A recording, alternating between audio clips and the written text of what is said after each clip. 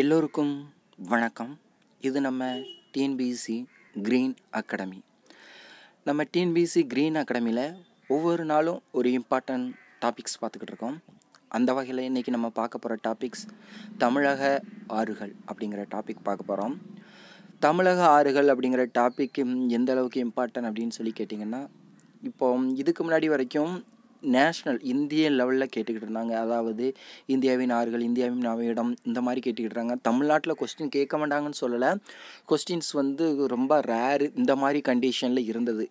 இப்போவும் அப்போவும் தமிழ்நாடு ஆறுகள் இப்போவும் படிக்க வேண்டாம்னு நீங்கள் சொல்லுது இது தவறு. அது எதுக்காகன்னா இப்போ கொண்டு வந்திருக்கிற யூனிட் நைனில் தமிழ்நாட்டின் தமிழ்நாடு நிர்வாகம் அப்படிங்கிற டாப்பிக்கில் ஒரு முக்கியமான டாபிக் அப்போ அந்த இதில் தமிழ்நாடை பற்றின ஃபுல் டீட்டெயிலுமே தெரிஞ்சிக்க வேண்டிய சுச்சுவேஷன் இப்போ ஏற்பட்டிருக்கு. இப்போ தமிழ்நாட்டை பற்றின ஃபுல் டீட்டெயில் தெரியாமல் டிஎன்பிசி எக்ஸாம் பாஸ் பண்ண முடியாது. கண்டிப்பாக ஆறுகள் இந்திய லெவலில் ஆறுகள் எப்படி ஒரு முக்கியமான டாப்பிக்காக இருந்ததோ அதே மாதிரி தான் தமிழ்நாடு ஆறு ஆறுகளும் ஒரு முக்கியமான டாபிக் இப்போ இன்னும் வரப்போகிற காலங்களில் இருக்க போது ஸோ இதை மிஸ் பண்ணாதீங்க.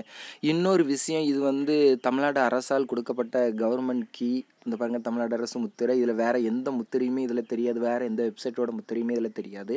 இது ஒன் அண்ட் ஒன்லி கவர்மெண்ட்டோட முத்திரை ஸோ அதனால் இதை யாரும் மிஸ் பண்ணாமல் பார்க்கணும் அப்படின்னு சொல்லி கேட்டுக்கிறேன். வாங்க வீடியோக்குள்ளே பார்க்கலாம் தமிழகத்தின் ஆறுகள் மேற்கு தொடர்ச்சி மலையில் பருவமழையினால் உருவாகின்றன. சரிங்களா? அதாவது ஆக்சுவலாக வந்து தமிழகத்தோட ஆறுகள் எல்லாமே மேற்கு தொடர்ச்சி மலையிலிருந்து தான் உருவாகுது அப்படிங்கிற மாதிரி சொல்லியிருக்காங்க. இவை மேற்கிலிருந்து கிழக்காக பாய்கின்றன. சரிங்களா?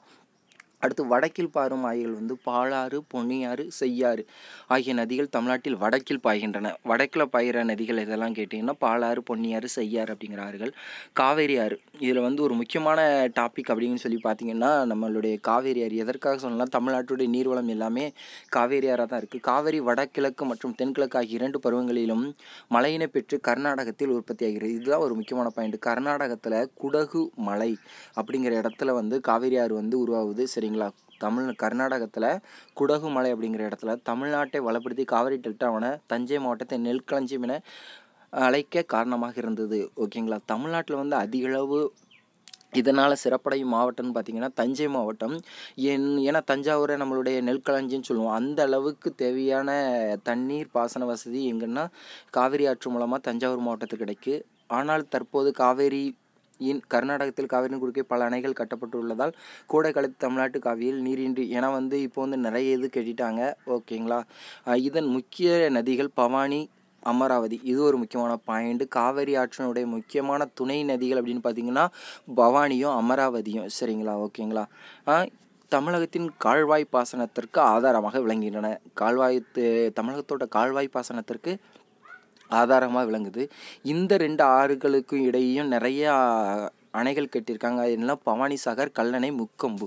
சரிங்களா? பவானி சாகர் கல்லணை. அதாவது காவிரி ஆற்றினுடைய இரண்டு முக்கியமான நதிகள் பவானி அமராவதியும். இந்த அணைகளுக்கு இடையே இது வந்து நதிகளுக்கு இடையிலையும் வந்து எனது முக்கியமாக அணைகள் கட்டியிருக்காங்க. பவானி சாகர் கல்லணை முக்கொம்பு. சரிங்களா?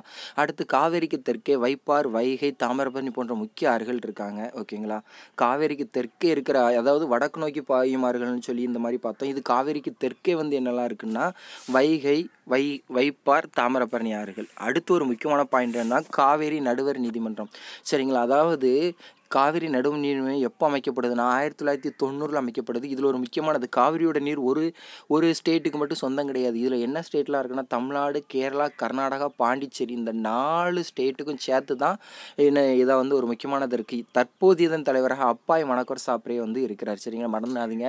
காவேரி நடுவர் திருப்பயம் வந்து ஆயிரத்தி தொள்ளாயிரத்தி தொண்ணூறு தமிழ்நாடு கேரளா பாண்டிச்சேரி தம இது இந்த நாலு ஸ்டேட்டுக்கும் பொதுவாக இருக்குது இது வந்து முக்கியம் இதனுடைய தற்போதைய தலைவர் அப்பாய மனகர் சாப்ரே அப்படிங்கிற மாதிரி இருக்குது இதில் வந்து ஃபஸ்ட் டைம் படிக்கும்போது எந்த நேமையும் ஃபுல்லாக படிக்க தேவையில்ல வந்து.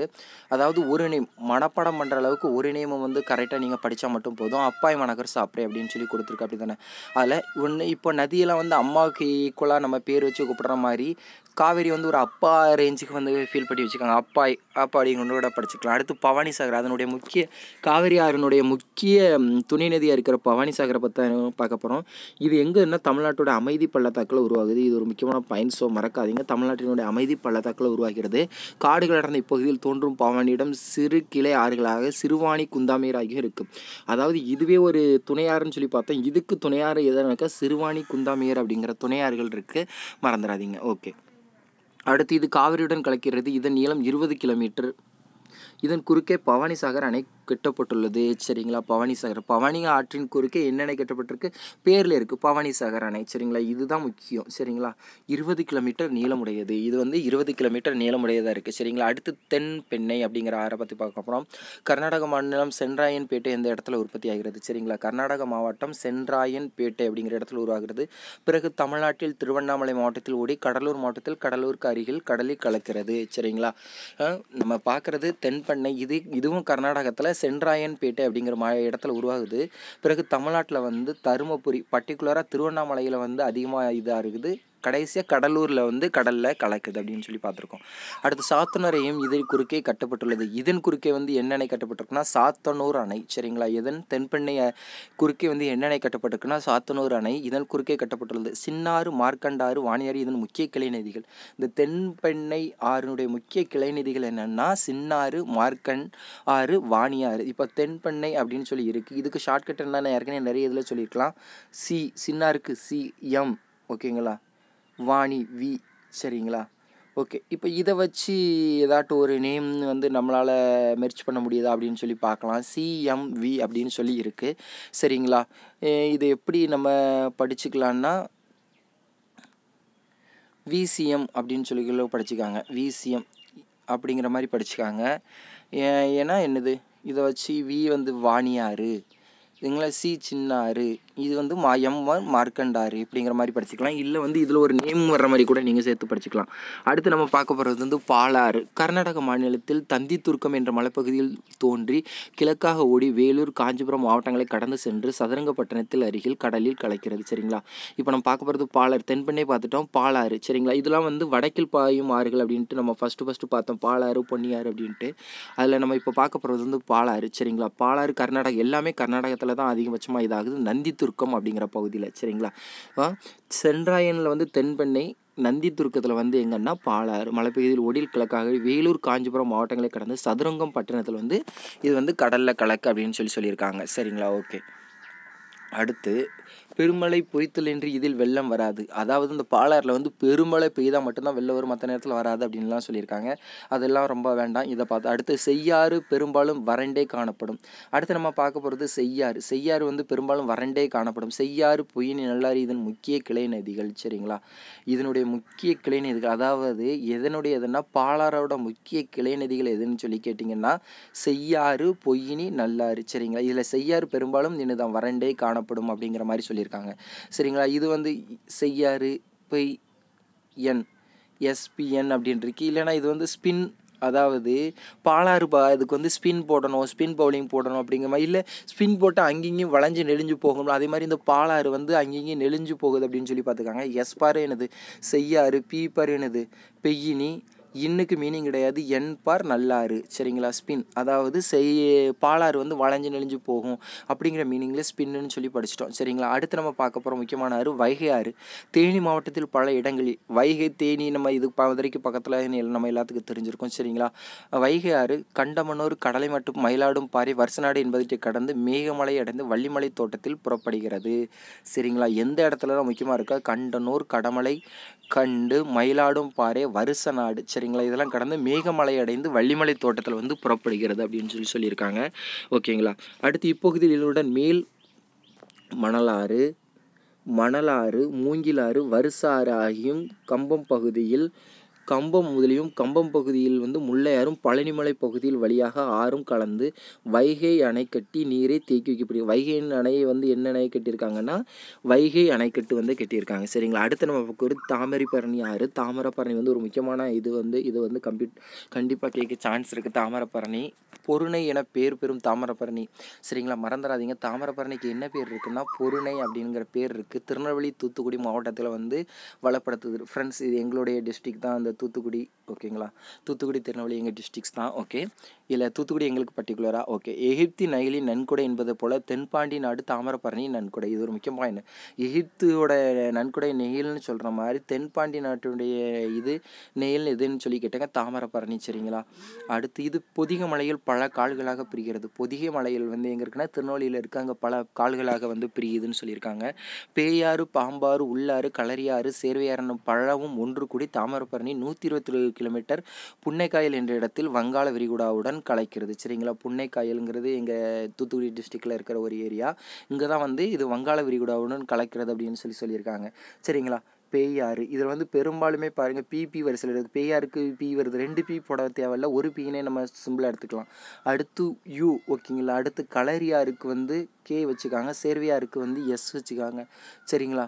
அப்போ இப்போ பியூ கேஎஸ் அப்படிங்கிற மாதிரி இருக்குது புக்ஸ் அதாவது புக்ஸுங்குது இப்படி இது வந்து இந்த புக்ஸுங்கிற மாதிரி மீனிங்கில் வச்சுக்கேன் இல்லை இதில் உங்களால் பியூகேஎஸில் வந்து ஒரு நேம் இங்கே பாருங்க கருப்பசாமின்னு கூட நம்ம பிரிச்சுக்கலாம். க ரு இப்ப கருப்பு சாமி அப்படிங்கிற மாதிரி கூட பிரித்து எனது P for Peyar Pambar U for Ulliyar K for Kalariyar S for சேர்வையாருங்கிற மாதிரி கூட படிச்சுக்கலாம். இந்த மாதிரி எல்லா எழுத்து எழுதி ஒரு பேர் வந்து நம்ம கண்டிப்பாக வந்து இங்கணும் அதோட முக்கியமானது இதனுடைய நீளம்னு வந்து கேட்டிங்கன்னா நூற்றி இருபத்தி ஒரு கிலோமீட்டருங்கிறது வந்து ஒரு முக்கியமான பாயிண்ட்டு அடுத்து வங்காள விரிகுடாவில் வந்து கலைக்கிறது. எப்போவுமே வந்து கலைக்கிறது எந்த கடலில் கலைக்கிறது அப்படிங்கிறது வந்து ரொம்ப வருஷமாக கேட்டுக்கிட்டு இருக்க ஒரு இம்பார்ட்டன்ட் பாயிண்ட் ஸோ மறக்காதீங்க. சரிங்களா? இதன் முக்கிய கிளைநிதி மணிமுத்தாறு. சரிங்களா? தாமிரபரணி நீளம் நூற்றி முப்பது கிலோமீட்டர் சரிங்களா? இந்த ஆறுகள்லாம் சேர்ந்ததுக்கப்புறம் நூற்றி இருபத்தோரு கிலோமீட்டராக இருந்திருக்கு. அதை மறந்துடக்கூடாது. அதன் முக்கிய கிளைநிதி மணிய முத் மணிமுத்தாருக்கு அப்புறம் தாமிரபரணியோட நீளம் வந்து நூற்றி முப்பது கிலோமீட்டராக இருந்திருக்கு. அடுத்து நம்ம பார்க்க போகிற அடுத்த ஒரு இது வெள்ளாறு. சேர்வராயன் மலைகள் கல்வராயன் மலைகள் பச்சை மலை ஆகியவற்றின் சரிவுகளில் துள்ளிப்பாயும் அருகில் ஒன்று கூடி வெள்ளாறு உருவாகிறது. சரிங்களா? சேரும். இந்த மலைகள் எங்களால் சேர்வராயன் கல்வராயன் பச்சை மலை இந்த மூன்று மலை சரிவுகளையும் துள்ளிப்பாயும் ஒன்று கூடி தான் என்ன நதினா வெள்ளாறு உருவாகுது. இது கிழக்கு நோக்கி ஓடி சிதம்பரத்திற்கு அடக்கே பதினாறு கிலோமீட்டர் தொலைவில் உள்ள தரங்கப்பாடி அருகே வங்கக்கடலுடன். இதுவும் வந்து கேட்கலாம். எந்தெந்த ஆறு வந்து வங்கக்கடலுடன் கேட்குங்கிற மாதிரி வெள்ளாறு வங்கக்கடலோடு தான் சேருது. எந்த இடத்துல? சிதம்பரத்திற்கு பதினாறு கிலோமீட்டர் தொலைவு வரை தரங்கம்பாடிங்கிற இடத்துல. இது வந்து ரொம்பவும் முக்கியம். சரிங்களா? தரங்கம்பாடி அப்படிங்கிற எப்போவுமே ஒரு இது உருவாகிற இடம் கலக்கிற இடம் எப்போவுமே ஒரு நதிக்கு வந்து முக்கியம். அப்புறம் அதனால் பயனடைகிறது இந்த இது வந்து ரொம்பவே முக்கியம். சரிங்களா? ஓகே. அடுத்து நம்ம பார்க்க போகிறது என்னென்னா கோமுகியும் மணிக்குட்ட நதியும் இதன் முக்கிய கிளை நதிகள் சரிங்களா? இதனுடைய முக்கிய கிளை நதி இதன் நீளம் வந்து நூற்றி தொண்ணூற்றி மூணு கிலோமீட்டர் சரிங்களா? நூற்றி தொண்ணூற்றி மூணு வெள்ளாறுடைய துணை நதிகள் வந்து எதுனா கோமுகியும் மணிக்குட்ட நதியும் இதன் நீளம் வந்து நூற்றி தொண்ணூற்றி மூணு கிலோமீட்டர். இதெல்லாம் மறக்காதீங்க. கண்டிப்பாக அந்த திருப்ப தமிழ்நாடு ஆறுகளை பற்றி கொஸ்டின்ஸ் இருக்கும். அடுத்து வந்து பரளியாறு சரிங்களா? கன்னியாகுமரி மாவட்டத்தில் ஓடும் சிற்றாறுகள் புரிந்தது பழையாறு சரியா? பழையாறு எங்கே ஓடுதுன்னா கன்னியாகுமரியில் இதனுடைய பழைய புரளியாறு பரளியாறு இதனுடைய பழைய பேர் தான் பரளியா பழையாறு அப்படின்னு சொல்லி சொல்கிறாங்க பல சிற்றாறுகள் ஒன்று கூடி நதியாகிறது. இந்த ஆறுகள்லாம் சேர்ந்து இது ஒரு நதியாகிறது இவற்றில் வடக்கே மகேந்திரகரியும் மலைக்கு உற்பத்தியாகி பூதப்பாண்டி கோட்டாறு நாகர்கோயில் சுசீந்திரம் ஆகிய ஊர்கள் வழியாக ஐம்பது கிலோமீட்டர் நீளம் ஓடி மணிக்குடி அருகே தேங்காய் பட்டணத்தில் வங்கக்கடலுடன் கலக்கிறது. பெரும்பாலும் தமிழ்நாட்டில் இருக்க எல்லாமே வந்து வங்கக்கடலுடன் தான் கலக்கிற மாதிரி இருக்குது ஸோ ஓகேங்களா? பரளியாருங்கிறது பழையாறுன்னு சொல்கிறோம் கன்னியாகுமரி மாவட்டத்தில் வந்து இது ஓடுது. சரிங்களா? கன்னியாகுமரி கன்னியாகுமரி மாவட்டத்திலேருந்து ஒன்று கூடி மகேந்திரகிரி அதாவது திருநெல்வேலியில் இருக்கிற மகேந்திரகிரி மலை அங்கே வந்து பூதப்பாண்டி கோட்டாறு நாகர்கோவில் சுசீந்திரம் ஆகிய ஊர்கள் வழியாக இந்த ஐம்பது கிலோமீட்டர் ஓடி மணிக்குடி அருகே தேங்காய்பட்டணத்தில் வந்து இது வந்து இதோட கலக்கு அப்படின்னு சொல்லி பார்த்தோம். அடுத்து தாமிரபரணியோட முக்கியமான கிளைநிதி மணிமுத்தாறு. அதை பற்றி தான் நம்ம இப்போ பார்க்க போகிறோம் இது திருநெல்வேலி மாவட்டம் வடக்கு மேற்கு தொடர்ச்சி மலையில் செங்கல் தேரிச்சாலையில் உற்பத்தியாகி பொருணையாற்றுடன் கலக்கிறது. சரிங்களா? பொருணையாற்றுடன் இந்த மணிமுத்தாறு வந்து பொருணையாற்றுடன் கலந்துருது. எங்கே உருவாக்குதுன்னா திருநெல்வேலி மாவட்டத்து மேற்கில் செங்கல் செரிச்சோலை அப்படிங்கிற இடத்துல இது வந்து உருவாகுது. சரிங்களா? அடுத்து கொடுத்தலை ஆறு கொற்றை அணை ஆறு குசஸ்தலை ஆறு என்று அழைக்கப்படுகிறது. இதை அந்த கொடுதலை ஆறை வந்து கொற்றணை ஆறு குசஸ்தலை ஆறு அப்படிங்கிற மாதிரி பேர்களை சொல்கிறாங்க சென்னைக்கு வடமேற்கு நூற்றி அறுபது கிலோமீட்டர் தொலைவில் ஆந்திர மாநிலத்தில் உள்ள நகரி நகரில் உற்பத்தி உற்பத்தியாகி திருவள்ளூர் மாவட்டத்தில் உள்ள வங்கக்கடலை வந்து கலக்கு. இது உற்பத்தியாகுது எங்கன்னு பார்த்தீங்கன்னா ஆந்திர மாநிலத்தில். நகரிங்கிற இடத்துல சரிங்களா? நகரிங்கிற இடத்துல உற்பத்தியாகி நம்ம தமிழ்நாட்டுடைய தில்லு திருவள்ளூர் மாவட்டத்தில் வந்து கடலில் வங்கக்கடலில் வந்து கலக்கு சரிங்களா? வடகிழக்கு பருவமழை பெய்யும் அக்டோபர் முதல் டிசம்பர் மாதம் வரையில காலப்பகுதி இதில் மூணு அல்லது நாலு முறை வெள்ளம் கரை புரண்டு ஓடும் சரிங்களா? மறந்துடாதீங்க. இந்த கொடுதலை ஆறுனால மாதத்தில் மூணு அல்லது நாலு திருப்பு வந்து எனது வெள்ளம் கரை புரண்டு ஓடுமா? அதை விட ஒரு முக்கியமான பாயிண்ட் இந்த இடத்துல வடகிழக்கு பருவமழை உள்ள காலம் வந்து அக்டோபர் டு டிசம்பர் அப்படிங்கிறது ஒரு முக்கியமான பாயிண்ட் ஸோ இதை வந்து மறக்காதீங்க சரிங்களா? ஓகே அடுத்து தமிழகத்தில் பாயும் ஆறுகளும் அதனுடைய கிளை நதிகளும் இது ஒரு இம்பார்ட்டன்ட் டேபிள்னே சொல்லலாம். ஸோ இதை யாரும் மிஸ் பண்ணாதீங்க. தமிழகத்தில் பாயும் ஆறுகளின் கிளை நதிகள் காவேரி ஆறு காவேரி ஆறு வந்திருக்கு. காவேரி ஆறுடைய இது பவானி அமராவதி முக்கியமாக பார்த்தோம். அதுக்கு போக இவங்க வந்து லோக் பவானி நொய்யல் அப்படிங்கிற ரெண்டு ஆறுகளை சொல்கிறாங்க சரிங்களா? அடுத்து இந்த பவானியோட சி- இது ஆறுகள். பவானியே வந்து காவிரியோட துணை நதி அதோடைய நதியில் இது பார்ப்போம். சிறுவாணி குந்தாமீர். அங்கே பார்த்ததை தான் நம்ம இப்போ வந்து டீட்டெயிலாக ஒரு டேபிள் போட்டு கொடுத்த பார்க்குற மாதிரி பார்க்குறாங்க. சரிங்களா? அடுத்து தென்பெண்ணை ஆறு வந்து சின்னாறு மார்க்கண்டையன் ஆறு. இதை நான் உங்களுக்கு சொன்னது அந்த டேபிளை எடுத்து வச்சுட்டு காவேரி ஆறுன்னு வந்துட்டுனா பவானி பி. சரிங்களா? லோக் பவானி சரிங்களா? எல். அடுத்து நொய்யல். அது கூட என் நொய்யல் என். அடுத்து அமராவதி சரிங்களா? இப்போ இப்போ என்ன பாருங்க பிளான்னு இதில் ஒரு இது கிடச்சிட்டு பாருங்கள் இப்போ எழுதுனதுக்கப்புறம் பாருங்கள் இது என்னது? பவானி சரிங்களா? லோக் பவானி ஏ பார் என்னது? அமராவதி என் பார் நொய்யல். பாருங்களா ஒரு இது எழுதுனதுக்கு அப்புறம் நமக்கு ஒரு பேர் கிடைக்கும் அப்படின்னு சொல்லி பார்க்கணும். இப்படி அப்போ காவிரியாருனாலே ஆறுனாலே பிளான் பண்ணோம். அப்போ B for Bhavani L for lower Bhavani A A- A for என்னது Amaravathi N for lower Noyyal. இந்த மாதிரி தான் படிக்கணும் சரிங்களா? மறந்துடாதீங்க இந்த மாதிரி ஒரு இது எழுதணும். எழுதுனதுக்கப்புறம் உங்களுக்கு ஒரு பேர் கிடைக்கா? அந்த மாதிரி பார்த்து மெர்ச் பண்ணிடணும். அதாவது இந்த ஆர்டரில் தான் வரணும்னா இந்த இதை வந்து மாற்ற முடியாமல் அப்படியே வச்சு அதை வச்சுக்கிடணும். நமக்கு இந்த ஆர்டர் தேவையில்லை. நமக்கு தேவை துணைநிதிகள் மட்டும்தான். அதனால் அந்த பேரை எப்படினாலும் என்ன செஞ்சுக்கலாம் மாற்றிக்கலாம் சரிங்களா? ஓகே. அடுத்து பவானி ஆறு. பவானி ஆறுக்கு ரெண்டு இதுதான் இருக்குது எஸ்ஸு கே இல்லை எஸ்கேல சந்தனகுமார் பவானியார் பவானியோட புருஷன் சந்தனகுமார்னு கூட படிச்சுக்கலாம் அப்படி தானே எஸ்கே அப்படி தானே சந்தனகுமார் என்னது? அப்போ என்னது? சிறுவாணி குந்தாமெஹேர் அப்படிங்கிற மாதிரி தான் படிக்கணும் சரிங்களா? மறந்துடாதீங்க. இந்த மாதிரி படிக்கணும். அடுத்து தென்பெண்ணை. தென்பெண்ணைக்கு அடுத்து மூணு எஸ்ஸு எம்மு வி இதை நம்ம அப்பவுமே பார்த்தோம் சரிங்களா? இல்லைன்னா இது ஸ்ரீ மாதவி அப்படிங்கிற மாதிரி கூட படிச்சுக்கலாம். ஸ்ரீ மாதவி சரிங்களா? எஸ்எம்வி அப்போ சின்னாறு மார்க்கண்டாறு வாணி ஆறு சரிங்களா? என்னடா அந்த பேர் உங்களுக்கு மறந்தால் கூட ஆப்ஷனை பார்க்க சொல்ல? எஸ் பாருங்க படுதுங்க சின்னாறு சிறுவாணியார் அப்படிங்கிற மாதிரி சின்னாறு தான் வந்துடும் மார்க்க எம்பார் மார்க்கண்டாறு இந்த மாதிரி உங்களுக்கு கண்டிப்பாக எடுத்து கொடுத்துரும். ஸோ இந்த இதை மெத்தடை மறக்காதீங்க. அடுத்து பாலாருக்கு என்னது? செய்யாறு. பெய்யினி நான் சொன்ன பாலாறு வந்து மாறி மாறி போகுது. ஸ்பின்னுன்னு சொல்லி கூட படித்தோம் அப்படி தானே செய்யாறு பெய்யினி எண்ணுக்கு இதில் மீனிங் கிடையாது ஐக்கு மீனிங் கிடையாது. எண்ணுக்கு வந்து நல்லாறு. இந்த மாதிரி தான் நீங்கள் படிக்கணும். இந்த மாதிரி உங்களுக்கு படிக்கும்போது ஸோ எப்போவுமே மறக்காது. இந்த டேபிள் ஸோ ரொம்ப முக்கியம். ஸோ இந்த டேபிளை வந்து மிஸ் பண்ணாதீங்க. ஓகேங்களா? இந்த மாதிரி படிங்க. உங்களுக்கு எப்போவுமே வந்து அதாவது இதை பார்த்து ஒரு இதில் எழுதி வச்சுக்காங்க. எழுதி வச்சுட்டு அதுக்கப்புறம் நான் சொன்னபடி தான் படிக்கணும். இல்லை உங்களுக்கு வந்து ஒரு இது பேர் எழுதிட்டு அதில் வந்து எழு ஃபஸ்ட்டு லெட்டர்லாம் எழுதிட்டு அதுக்கப்புறம் ஒரு ஷார்ட்கட் கிடைக்க ஒரு பேர் கிடைக்க அந்த மாதிரி இதை வச்சுக்கிட்டோம் காவிரி ஆரி வந்து நம்ம நினச்சோம் பிளான் சொல்லி படித்தோம் இந்த மாதிரி படிச்சுக்கிட்ட போது உங்களுக்கு எப்போவுமே மறக்காது. சப்போஸ் அப்படி மறந்தாலும் உங்களுக்கு வந்து ஆப்ஷன் வந்து கண்டிப்பாக கை கொடுக்கும். ஆப்ஷன் பார்த்த உடனேயாட்டும் ஞாபகம் வந்துடும் ஸோ இதுதான் சக்ஸஸ்க்கு உண்டான வழி. நான் எதுக்காக சொல்கிறேன்னா ஒரு விஷயங்கள் வந்து நீங்கள் படிக்கும் போது மறக்கும். என்னத்தான் நல்லா படித்தாலும் ஒரு வாரத்துக்கு மேலே வைக்காது. அது அதே ஷார்ட்கட் இந்த மாதிரி வச்சு படிச்சிங்கன்னா எப்போவுமே உங்களுக்கு வந்து மறக்காது. ஸோ மிஸ் பண்ணாதீங்க. ஓகே அடுத்து தமிழகத்தின் பல்வேறு மாவட்டங்கள் பாயும் ஆறுகளின் பேர்களும் அட்டவணையில் காணும் அதாவது எந்தெந்த மாவட்டத்தில் எந்தெந்த ஆறுகள் பாயுது அப்படிங்கிறத பற்றி தான் அந்த டேபிளில் பார்க்க போகிறோம் ஸோ சென்னையில் வந்து என்ன ஆறுலாம் கூவம் ஆறு அடையாறு பக்கிங்ஹாம் கால்வாய் ஓட்டேரி. இதில் வந்து நமக்கு வந்து கூவம் ஆறுலாம் சென்னையில் இருக்குது அப்படிங்கிறத பக்கிங்ஹாம் கால்வாய் சரிங்களா? ஓட்டேரிங்கிற பிளேஸ் வந்து சென்னையில் இருக்குது இதை வச்சு நம்ம கண்டுபிடிச்சிடலாம். சரிங்களா? அதனால் சென்னை வந்து இது இல்லை. கடலூரில் வந்து தென்பெண்ணை கெடிலம் சரிங்களா? தென்பெண்ணை கெடிலம் விழுப்புரம் வந்து கோமகி சரிங்களா? இன்னொரு விஷயம் வந்து எப்போவுமே எப்படி எப்படி சொல்கிறதுன்னா இருங்க. நான் வச்சது தென் தென்பண்ணை. ஆ இப்போ வந்து திருவண்ணாமலை டிஸ்ட்ரிக்ஸில் பாருங்கள் ஏற்கனவே வந்து இப்போ வந்து திருவண்ணாமலைன்னா இது எப்படி எழுதுனா டிஎஸ் அப்படின்னு சொல்லி திருவண்ணாமலைக்கு டிஎஸ்ன்னு சொல்லி படிச்சுக்கிட்டிங்கன்னா எனக்கு தென்பெண்ணை செய்யார் இப்படின்னு படிக்கலாம். இன்னொரு விஷயம் வந்து இது எப்படின்னா திருவண்ணாமலை இருக்கா? திருவண்ணாமலையில் எழு இருக்கிற எழுத்தில் ஏதாட்டும் ஒரு எழுத்து இதுக்குண்டானது இருக்கா அப்படின்னு சொல்லி பார்க்கணும். திருவண்ணாமலையே தீ இருக்குது நம்ம தேங்கிற எழுத்து தான் தா தா தீ அப்படிங்கிற மாதிரி மாறும். அப்படி தானே அப்போது தீங்க தென்பெண்ணை. இந்த தா தீ தானே இங்கே தேயாக வருது. ஓகேங்களா தென்பெண்ணை இப்படிங்கிற மாதிரி கூட ஒரு இது படிக்கலாம். உங்களுக்கு எப்போவுமே கை கொடுக்கும். ஸோ மறந்துடாதீங்க.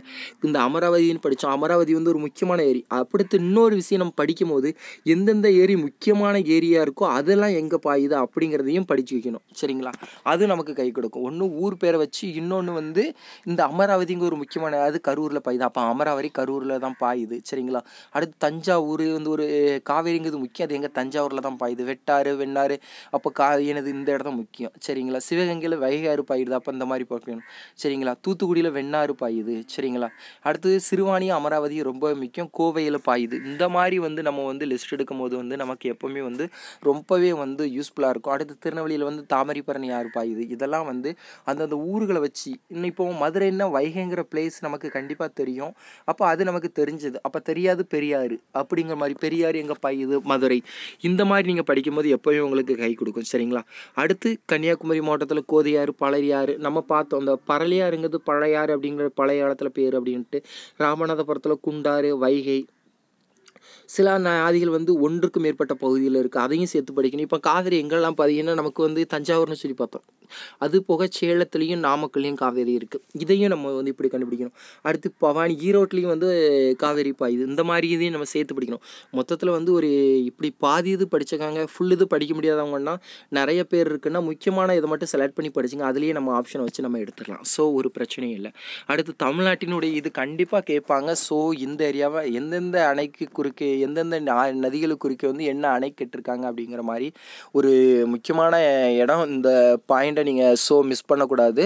கண்டிப்பாக நல்லா படிக்கணும். ஸோ த தருமபுரியில் வந்து என்ன அணைகள் மற்றும் நீர்த்தேக்கம் இருக்குன்னா தொப்பையாறு கிருஷ்ணகிரி நாகாவதி பாம்பாறு கலவரப்பா கெசலிக்குள்ள பஞ்சப்பள்ளி வரணியாறு ஈச்சம்பட்டி நீர்த்தேக்கம். சரிங்களா? இதெல்லாம் விட தருமபுரி அப்படிங்கிறது ஒரு ஃபேமஸ் அப்படி படிக்க கஷ்டமாக இருந்துச்சுன்னா ஃபேமஸ் பிளேஸ் படிங்க. ஈரோடு ஈரோடில் வந்து கண்டிப்பாக வந்து எதுக்காக சொல் ஈரோடில் வந்து காவேரி பாயுது அப்படின்னு அதாவது நம்ம எந்தெந்த இடத்துல எந்தெந்த டிஸ்ட்ரிக்டில் என்ன ஆறுகள் பெய்யுதுன்னு பார்த்தோம்ல அதை வச்சே இந்த அணைகளையும் நம்ம ஈஸியாக எடுத்துடலாம். ஓரளவு கெஸ்ஸிங் பண்ணிடலாம். சரிங்களா? ஈரோடில் வந்து காவேரி இருந்தால் அது ஒரு மிக பவானி சாகர் முக்கியமான இது பவ அந்த மாதிரி இதை மீன் பண்ணி கூட அப்படியே நம்ம படிக்கணும். சரிங்களா? இப்போ அமராவதி கோயம்புத்தூர் கோவையில் வந்து அமராவதி பாயின்னு பார்த்தோம் ஆமாம் அமராவதி அணைக்கட்டு அங்கே தான் இருக்கணும். அந்த மாதிரி ஒரு இதாக படிச்சிங்கன்னா உங்களுக்கு திருநெல்வேலியில் வந்து பாபநாசங்கிற பிளேஸ் இருக்குது சரிங்களா? அதை வச்சே என்னது? அது பா பாபநாசம் ஆயிரும். மணிமுத்தாறு அதனுடைய முக்கிய இது. திருநெல்வேலியில் பாயிற ஆறு என்னது? தாமிரபரணி தாமிரபரணியோட முக்கியமான இது மணிமுத்தாறு. அப்போ மணிமுத்தாறு டேம் எங்கே தான் இருக்கும்?